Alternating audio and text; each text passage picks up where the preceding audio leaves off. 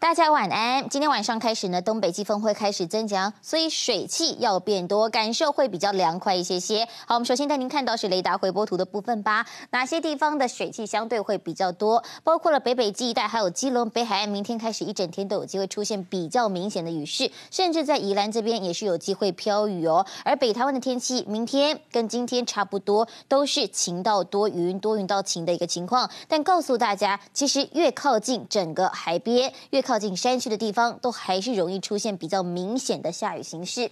而说到呢，这地面天气图上面呢，一探究竟哦。说到主要是因为受到东北季风的影响，所以呢，天气感受会偏凉一些些。再加上水汽要慢慢上来，所以迎风面的东北部地区都会容易出现降雨。而这样的天气会一路到礼拜天，都蛮类似的，偶尔会出太阳，但偶尔好像云量又偏多一些些，会飘起一点点的毛毛雨。反而是中南部比较没有感哦，中部以北地区。北部地区还有东半部地区都要特别留意天气上面的变化。到下个礼拜一开始呢，告诉大家的是冷空气要来报道，而气象局预报应该是会是一个强烈冷气团的一个等级，强烈大陆冷气团，所以高温一口气降了五度左右，不排除会升级成为寒流哦，做好心理准备吧。明天的天气一块来关心吧。明天北台湾跟今天差不多，高温十七到二十一度，中部地区多云到晴，高温二十三、二十四度。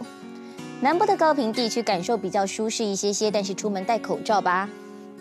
东半部迎风面在宜兰降雨几率百分之八十。外岛地区高温十四到二十度，到下个礼拜一开始又有一波冷空气要来报道了，请大家一定要锁定我们的气象单元时间了。